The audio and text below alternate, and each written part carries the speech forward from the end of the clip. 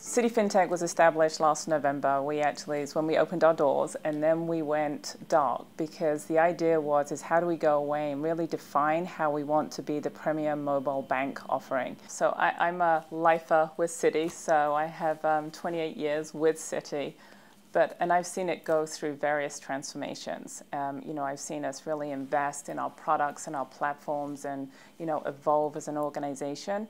But I look at what we've been able to do in fintech over such a short period of time, and, it makes me really, really proud to know that one, we have the company backing to be able to really divert resources and stand up a team dedicated to, to these initiatives. Um, as I said, we've built a product in less than six months with a significant number of features. That in our traditional models just hasn't been possible. We've, by focusing on our customer, we've been able to reduce um, our research um, costs and timelines by 94%.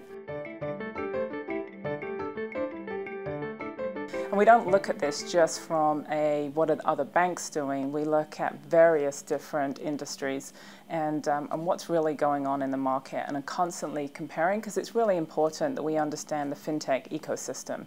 So we clearly know where do we want to build ourselves, where do we want to partner, where should we be looking to buy to really make sure that we're on the cutting edge of mobile services in the banking industry. We have to take a step back and realize the traditional way of doing things isn't going to get us there. So if we look at agile organizations and startup organizations, we recognize we needed to fundamentally change the way that we operate. So we really did, we started with customer first. Everything we do is centered around what is it the customer needs and constantly validating. So even when we're doing a two-week sprint, we go back after those two weeks and validate that yes, we understood and we heard exactly what the customer um, wanted.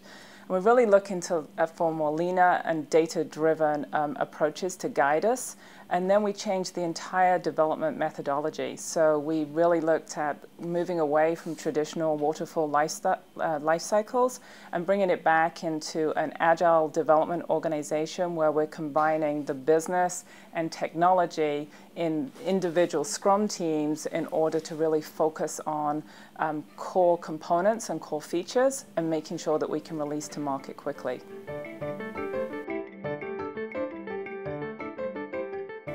So we're a brand new division within Citi.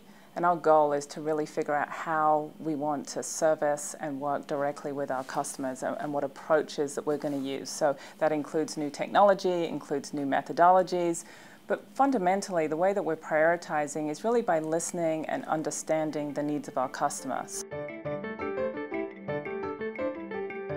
This one to me is absolutely critical. And if I look at um, where we've come. If you think about it, we actually hired our first development team in March and we're able to, to build a product in six months. Um, having people that are really experienced in this industry ha has been absolutely critical. And one of the expectations is, is that they come from industries where they've been through transformations or that they only know how to operate in this new startup-like culture. Because what we want to do is really embed those and, um, and and take those learnings and move them across the bank as a whole. So I, I, don't think it's just one thing. I think there's a couple of pieces that have to come together.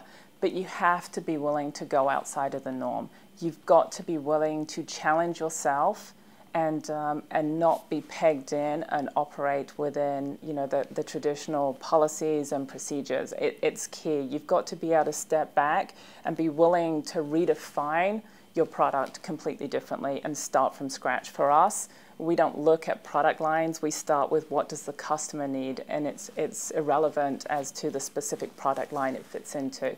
So so that to me is absolutely key. You've got to challenge the status quo, and you.